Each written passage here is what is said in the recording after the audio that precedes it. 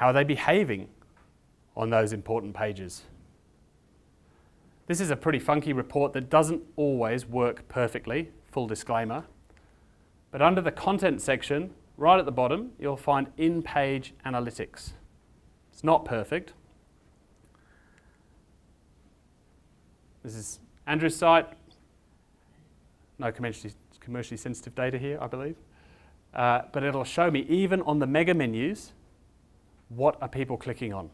Now, there's a lot of stuff on there, but that can be very, very useful to dig into for you. you know, finding out that a lot of people are clicking on this section, very, very few people are clicking on this stuff down here. For you, that might be a very useful report. Lee, I'm going to use yours as an example. There's a, another way that you can look at this report, and that is a new one. It's kind of like a hotspot. So the red is where lots of people click. The blue is where very few people click. I find that a more useful view of that same data. Now that may not work for you. It depends on how your website's built, but give it a try. And if you really want to get geeky, search for in-page analytics custom code on Google and send that to your friendly WebGeek.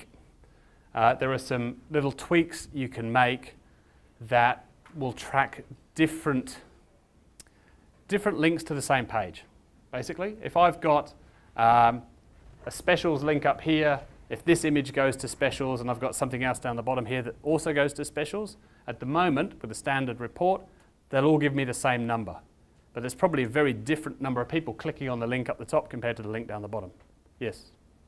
Um, another great tool Crazy Egg. I was going to mention that.